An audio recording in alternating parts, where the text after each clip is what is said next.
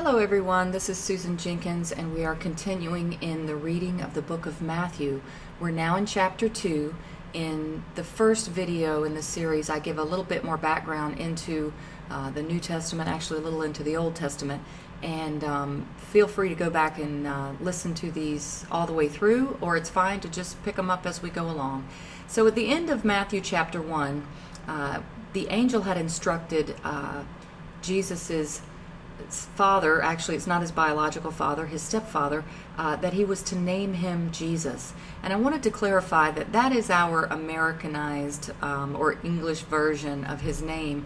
Because Jesus was Jewish and all the writers of the Bible were Jewish, his name is actually his Jewish name, which is Yeshua, and maybe more properly pronounced Yeshua. Uh, I don't know Hebrew, so I might not be saying that right, but that is his uh, his real name. So I wanted to clarify that. Okay, we're beginning in Matthew chapter two now. Um, oops, let me scroll up higher.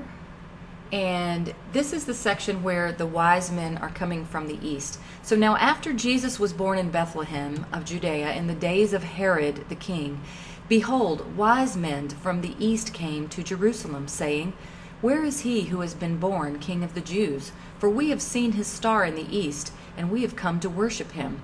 Now, I wanted to clear up something here, too. Uh, everybody's probably familiar with these wise men, and we picture them as these kings on camels with this very expensive clothing. But that's uh, a misinterpretation um, that I'm not sure how that came to be, but uh, so often at Christmas time, that's the images that we see. But if you um, read the, the scriptures, uh, all it says is that they're wise men that came from the east. And we have to remember that uh, these Hebrew scriptures were available uh, to many people, and it is uh, researched and uh, found to be um, believable and probably the case that these wise men had access to these scriptures and they thus knew of the prophesied coming king, Messiah, not just any king, but the king that was promised that would be the God king, the God man in human flesh.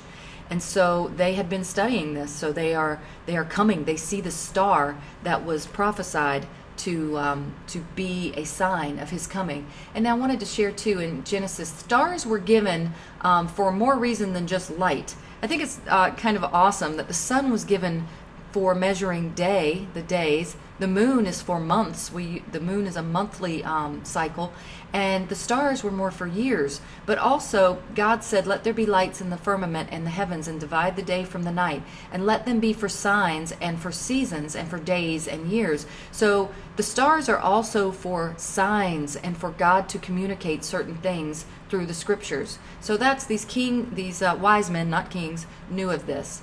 Okay, so we're on verse 3 now. When Herod, and this is not a nice king, Herod the king heard this, he was troubled.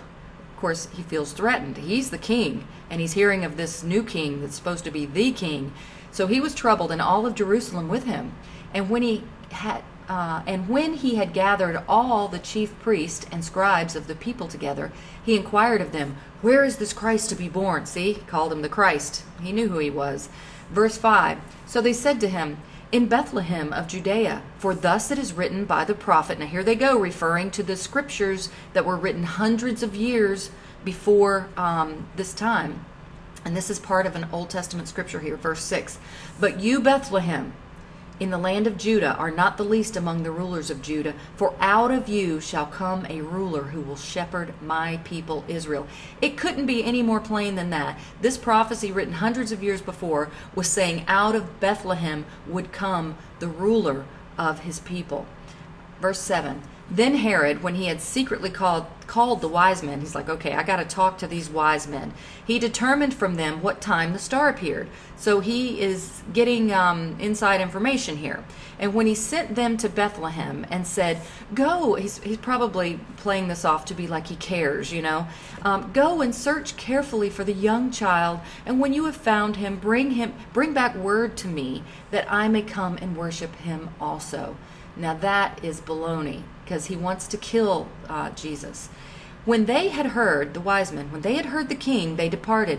And behold, the star which they had seen in the east went before them until it came and stood over where the young child was. I found that interesting because we always think of the wise men going to the star, But this actually sounds like the star led them. Quite interesting. I haven't studied much into that, but I just found that kind of neat.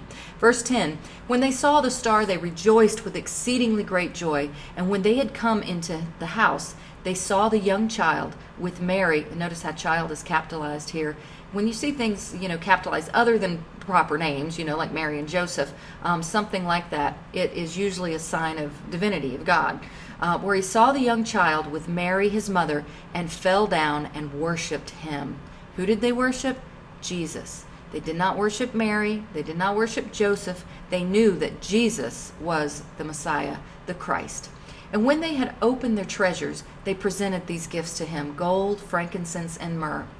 So either they were wealthy wise men or they had been saving up to be able to give this gift to, to Jesus, Yeshua. Verse 12 Then, being divinely warned in a dream that they should not return to Herod, they departed for their own country another way. I love how God is communicating through these angels to warn Joseph and the wise men in order to protect Jesus. Because, you know, Satan, throughout all of history, has been on the heels of the Messiah and on the heels of mankind, incredibly jealous of us and our relationship and being created in God's image. So God is protecting Jesus. 13. Now, when they had departed, behold, an angel of the Lord appeared to Joseph in a dream, again saying, Arise, take the young child and his mother, flee to Egypt, and stay there until I bring you word, for Herod will seek the young child to destroy him.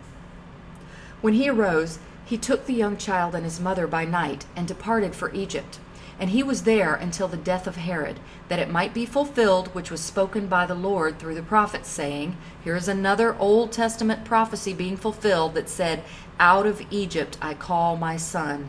This was written hundreds of years before and fulfilled prophecy. Now, these are things that nobody could make happen. You can't make Jesus all these things. There's so many prophecies that were fulfilled that is evidence that, you know, if someone could tell the future, and it came true time after time after time after time, you would eventually believe them.